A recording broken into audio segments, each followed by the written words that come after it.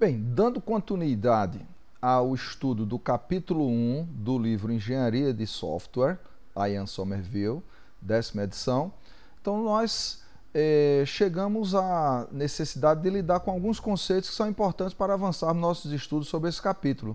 Né? Então, engenharia de software, nós já colocamos aqui em linha geral, é a engenharia que se preocupa com todos os aspectos da produção de software, desde os estados iniciais até a manutenção do sistema durante o seu uso.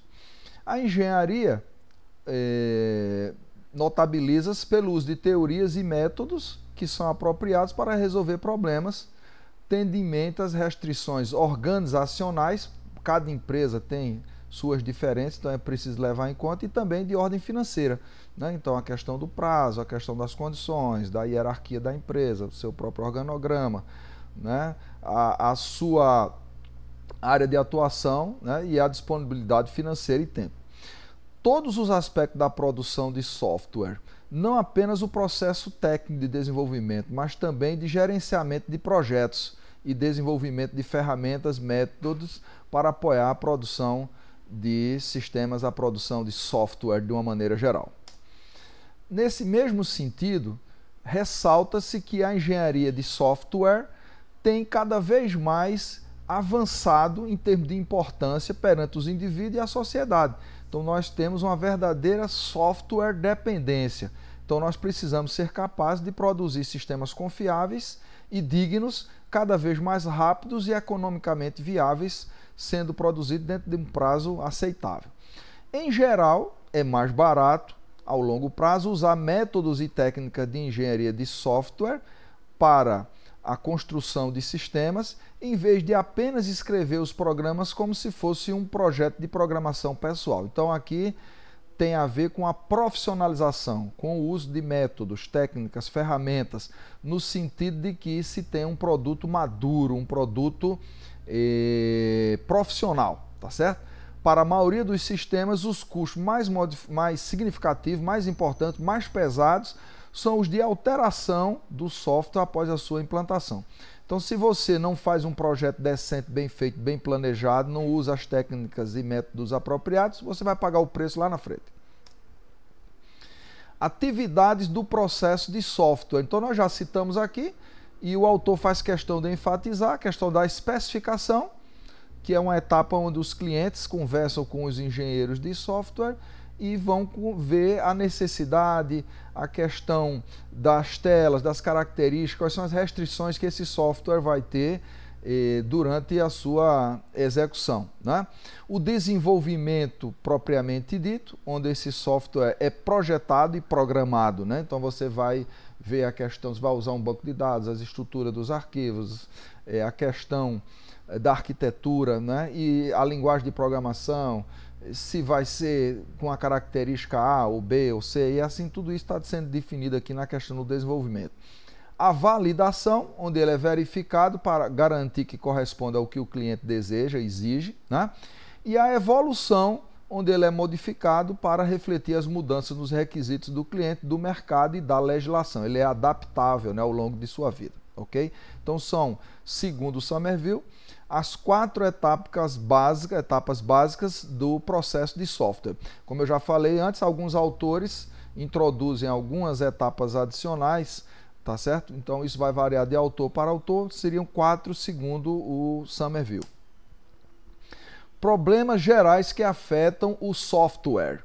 Quais seriam? Heterogeneidade. Cada vez mais os sistemas precisam operar com sistemas distribuídos em redes que incluem diferentes tipos de plataformas, de computadores e dispositivos móveis. Então aqui você vai ter bancos de dados diferentes, você vai ter sistemas operacionais diferentes, vai ter máquinas diferentes, né? Então você vai ter uma série de produtos diferentes que precisam conviver, que precisam conversar, que precisam interagir. Então é preciso que o software tenha a capacidade de lidar com a heterogeneidade, tá certo? Dessa floresta aí dessa selva africana com milhares aí de espécimes que convivem entre si e que geram todo um ecossistema heterogêneo. Mudança social e de negócios. A sociedade e os negócios estão tomando estão mudando incrivelmente, né? Estão mudando incrivelmente e isso faz com que a gente precise se adaptar. Né? Então, esses softwares precisam ser capazes de serem alterados né? e precisam eh, ter esse tipo de, de mudança sendo feita rapidamente dentro de um tempo aceitável para dar resposta. Né? Então, essa mudança social são e, e, do ambiente de negócio, na legislação, problemas que fazem parte do dia a dia de quem trabalha com o sistema de informação. Segurança e confiança, né? Como o software está diretamente ligado com todos os aspectos de nossas vidas, é essencial que possamos confiar nesse software. Então aqui é o seguinte, a, a questão da confiabilidade tem a ver com os resultados precisos, né? E em situações as mais adversas que ele possa ter resultados corretos. E a questão da segurança, o controle de acesso, né, a limitação para que pessoas que não têm eh, direito de acesso aos dados não o tenham. Então são amarrações aqui que precisam ser feitas, que precisam ser resolvidos esses problemas do ponto de vista de segurança e confiança. Escala, o software deve ser desenvolvido em uma ampla variedade de escalas, né? desde sistemas embarcados muito pequenos em dispositivos portáteis, ou até sistemas baseados na nuvem, na escala da internet, que atende a comunidade global. Então essa escalabilidade ela é flutuante, né? E dependendo do tipo de software, se vai fazer um software genérico, por exemplo, ele só vai ser lucrativo se ele tiver escalabilidade, se ele possa atender milhares, milhões de pessoas, né? Então, e tem situações mais específicas que você vai fazer para atender um grupo pequeno ali de clientes. Então, isso depende muito. Então, essa questão da escala é um aspecto relevante. É, ainda nesse aspecto da diversidade da engenharia de software, é, nós podemos dizer que existem muitos tipos diferentes de sistemas e não existe um conjunto universal de técnicas que seja aplicáveis a todos eles. Então, vai aqui ter que analisar, porque você vai ter famílias que vão usar técnicas semelhantes, mas você vai ter uma outra família ali de lado que já a técnica que serve para fazer esse A aqui não serve para fazer a família B. Então isso é importante você ter em mente que você não vai ter uma camisa de força que vai enquadrar todos os sistemas numa única sistemática, numa única metodologia, num único conjunto de ferramentas. Então isso é variável, então tem que ter essa visão aí. Os métodos e ferramentas da engenharia de software usados dependem do tipo de aplicação, né? Então, dos requisitos, dos antecedentes da equipe, né? os padrões de projeto que a equipe já tem, a experiência, o know-how, então tudo isso vai fazer parte também do seu cotidiano aqui. Então veja, é, aplicações independentes, as aplicações podem ser, portanto aqui o, o nosso Somerville faz essas distinções. Aplicações independentes são sistemas aplicativos executados em um computador local, como um PC, então a dita standalone. Eles incluem todas as funcionalidades necessárias e não precisa estar conectado a uma rede. Então esse tipo de sistema aqui, às vezes por questão de segurança, você tem alguma coisa muito específica, né, isolada ali, que você transfere por algum meio de comunicação os resultados para serem apropriados por outro módulo ou por outro sistema. Então pode acontecer e isso tem muito a ver com a questão de segurança. Aplicações interativas baseadas em transações. As aplicações executadas em um computador remoto e acessadas pelos usuários a partir dos seus PCs, dos seus terminais de consulta. Isso inclui os aplicativos web como aplicativo de comércio eletrônico. Então, quando você entra na loja de comércio eletrônico aí da sua preferência, Americanas, Magazine Luiza, Amazon, Alibaba, outro qualquer aí e tal, você está acessando é, um recurso que está na nuvem, né? Essa base de dados aí pode estar distribuída em vários locais físicos, né? E você faz solicitações, uma consulta, ah, eu quero saber o preço de notebook. Então ele faz uma consulta lá na base e responde para você aqui uma lista de notebooks. Ah, eu quero um notebook que tenha esse ou aquele recurso, então você vai restringindo e tal. Então, isso é um exemplo de aplicações interativas baseadas em transações e que a parcela mais dominante aqui são esses na web.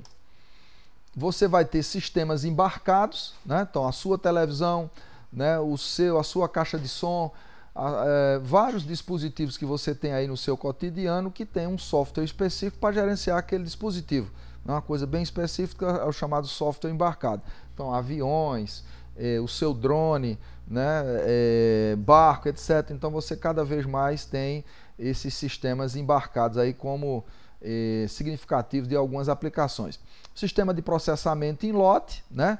São projetados para processar grande volume de, de dados, né? e aí eles não precisam, é, vamos dizer assim, serem processados online. Então, como seria isso aqui? Vamos dar um exemplo aqui. Você se inscreveu no Enem. Então, é, tem um momento que quando encerra as inscrições, eu preciso processar e distribuir esses alunos nas cidades pelos locais de prova. Então, isso é um processamento que é feito ali, é, não é interativamente feito, ele é feito em lote, vai processar cidade por cidade, cada cidade poderia ser um lote, por exemplo a questão de contabilidade de grandes empresas para emitir relatórios e coisas do tipo, o processamento, por exemplo, da, da, do imposto de renda. Né? Você não tem o resultado online, ele fica lá na base da receita e aí quando eh, é disparado um determinado processo por algum critério, você processa aí por data de entrega, por exemplo, num determinado período. Então esse processamento interno ele é feito por lote e pode ser, por exemplo, por algum critério, pela idade, pela localização, por algum critério interessante para a empresa que é dona do sistema. Sistemas de entretenimento, né, são sistemas que são voltados principalmente para o uso pessoal, que tem como objetivo divertir o usuário. Então, os games, né, a questão das apostas, o, a, os shows e tal. Então, alguma coisa aí que seja mais voltado para essa área de entretenimento. Sistemas para modelagem e simulação, são sistemas desenvolvidos por cientistas e engenheiros para modelar processos, por exemplo, prospecção de petróleo, eh, prospecção de minérios, né, que inclui muitos objetos separados e interação. Então é muito comum usar essa questão da modelagem. Eh, a questão da simulação matemática. Né? Então, tem estudos que são feitos, por exemplo, no caso da, do Covid-19, por exemplo, você tem aí para a vacina, então você vai, vai gerando modelos, você vai fazendo simulações, né? Quando você não pode testar diretamente em pessoas. Então é uma forma de você ter sistema nessa categoria aqui. Sistemas de coleta de dados, né? são sistemas que coletam dados de seu ambiente usando um conjunto de sensores e enviam para serem é, utilizados por outros sistemas. Né? Então eu vou dar um exemplo aqui, a questão do controle de é, incêndios na floresta amazônica. Né? Então você tem sensores por satélite ou locais que vão fazendo essa coleta e vão mandando os dados, e esses dados são processados por um sistema central e que eles vão, por exemplo, mostrar a questão do desmatamento, o avanço do, do, do incêndio de florestas e coisas desse tipo. Né? A questão, por exemplo, de controle de eh, chuva, né? Índice de pluviosidade. Então você vai ter sensores que estão espalhados pela cidade e vão dizer a quantidade de chuva que caiu, fazer esse tipo de medição. Né? Vazão, por exemplo, que passa num rio, que passa por dentro da cidade urbana, então você controla lá um certo nível para fazer um aviso sobre inundação e coisas desse tipo aí são exemplos de sistema de coleta de dados. Sistema de sistemas são sistemas compostos por vários outros sistemas. Então você tem a ideia de subsistema. Né? Você tem um sistema macro que tem vários outros módulos e tal, então você poderia dar o nome de sistema de sistemas. É, ainda nessa linha dos fundamentos da engenharia de software, alguns princípios fundamentais se aplicam a todos os tipos de sistemas, independentemente das técnicas. Então, por exemplo, o sistema deve ser desenvolvido usando um processo de desenvolvimento gerenciado e compreendido. Então, você vai ter vários processos diferentes, várias sistemáticas diferentes que devem ser gerenciadas e entendidas por toda a equipe.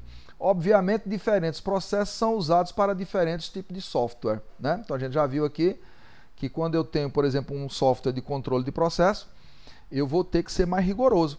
Quando eu tenho, por exemplo, um, um, um game, alguma coisa mais para entretenimento, eu posso usar prototipação. Então, aí você vai ter é, é, caminhos diferentes. A questão da confiabilidade e desempenho são importantes para todos os sistemas o quanto seu sistema é confiável e qual é o tempo de resposta que ele vai dar para determinadas entradas. Onde for possível, deve-se reutilizar o software que já foi desenvolvido, em vez de escrever um novo. Então isso aqui é interessante por quê? Porque você já tem um sistema que foi testado, que foi validado, que já, já tem, vamos, já está em produção. Então sempre que possível a gente deve reutilizar, né? dar importância ao know-how da equipe, né? o que, é que essa equipe já fez e que está funcionando, está rodando, então, nesse sentido. Por quê? Porque o custo de começar um projeto novo tem a questão do tempo, do investimento, do risco, né? tudo isso tem que ser levado em conta. É importante entender e gerenciar as especificações e os requisitos do software. O que é que o software deve fazer? Então, isso aqui você vai ter eh, sistemáticas próprias para levantar, para gerenciar, para checar, por exemplo, que às vezes um requisito conflita com outro. Ah, um, um, determinado setor da empresa diz que eu devo fazer isso, o outro diz não, não deve. E aqui, quem tem razão? Como é que a gente vai fazer? Provocar reunião, lidar, checar a questão, por exemplo, da anterioridade, quem é pré-requisito. Essa atividade aqui ela só pode ser feita é, após concluída aquela outra. Então, tudo isso leva à questão do gerenciamento das especificações e dos requisitos de software. A, a web agora né, gerou uma categoria da engenharia de software na internet. A web é uma plataforma para aplicação e execução e as organizações têm desenvolvendo cada vez mais sistemas web em vez de sistema local. Então essa é uma tendência, ok? Então aqui a gente hoje eu poderia até dizer dar um chute aqui que mais de 80% dos sistemas são web. Os web services discutido no capítulo 19 do Somerville permite que as funcionalidades do aplicativo sejam acessadas pela web. Então isso é uma categoria que está tomando corpo, está tomando importância, está sendo mais utilizada. Por exemplo, computação na nuvem, né? É uma abordagem para fornecimento de serviço. Então, aqui um exemplo que eu coloquei aqui, não é do slide, dos slides original do Somerville, originais do Somerville, que é o Office 365. Então, você não instala mais na sua máquina, né? Você usa esse software na nuvem e paga pelo direito de uso à Microsoft. Então, na medida em que eles vão atualizando lá as versões, você não precisa comprar, não precisa eh, fazer upgrade e tal, isso já é feito automaticamente lá. Então é um exemplo aí, uma tendência. Né? E, sistemas baseados na web são sistemas distribuídos complexos. Distribuído porque você não sabe nem onde é que está essa base de dados. Né? Ela está espalhada pelo mundo todo. Mas os princípios fundamentais da engenharia de software são aplicáveis a todos eles, como a qualquer outro tipo de sistema. Então a, a engenharia de software ela é genérica, ela é abrangente qualquer categoria vai se enquadrar dentro dos métodos, técnicas e ferramentas gerais da engenharia de software. As ideias fundamentais da engenharia de software se aplicam aos softwares baseados na web da mesma forma, ok? Qualquer outro tipo de sistema. É, reuso de software, então é uma tendência, é a abordagem dominante na construção de sistemas baseados na web é a questão dos padrões de projeto, do know-how da equipe, das experiências anteriores. Então, ao criar esse sistema, você pensa em como montá-los a partir do que já pré-existe em termos de conhecimento da equipe na empresa. Então, você vai criar tipo uma biblioteca né, de, de, de recursos, de módulos, de, de sistemas que você vai reutilizar para ganhar tempo. Então, isso ganha produtividade aqui desenvolvimento incremental e ágil é uma tendência, né? Os sistemas web devem ser entregues de forma incremental. Então você começa com uma, uma interação mínima, vai evoluindo e tal, e você vai fazendo isso. E isso normalmente é feito eh, de forma que eh, esses requisitos para os sistemas com, com, com, antecedência prévia. Então é geralmente aceito que é impraticável especificar tudo de uma vez. Então você vai amadurecendo e evoluindo você vai trabalhando com a ideia de protótipos e testando e amadurecendo a vivência do usuário com o sistema e por aí vai. Sistemas sistemas orientados a, a serviço. O software pode ser implementado usando a engenharia de software orientada a serviço, onde os componentes são serviços independentes da web. Então é uma tendência também que a gente pode ter aqui e a ideia de interfaces ricas, cada vez mais ricas, mais interativas, que permitem a, o suporte à criação de interfaces ricas em um navegador web, ok? Então fica aqui fechada a, essa nossa parte do capítulo 1. Eu espero que você dê uma lida no texto do capítulo, tá certo? Faça os exercícios associados a essa parte aqui e até a próxima, ok?